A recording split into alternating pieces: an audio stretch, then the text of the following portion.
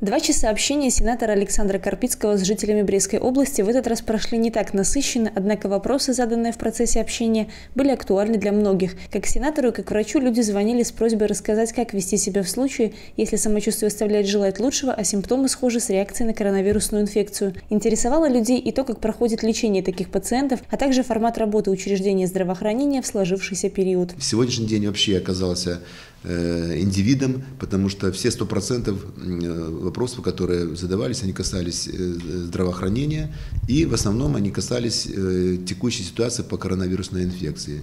Наши жители спрашивали о том, как себя вести при первых симптомах коронавирусной инфекции, куда, куда идти, кому звонить меры профилактики всех, конечно, интересуют.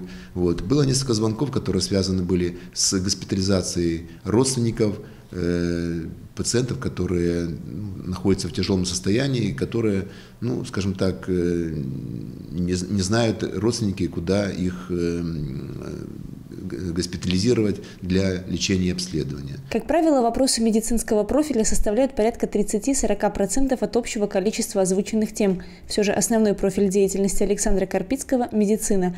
Нередко люди просят помощи и консультаций по юридическим аспектам, нюансам урегулирования трудовых отношений, занятости и многим другим. И что важно отметить, в последнее время это не жалобы, это просьбы рассказать и объяснить. В основном вопросы, которые задают граждане, касаются для решения личных вопросов Э, личных каких-то проблем и личных вопросов.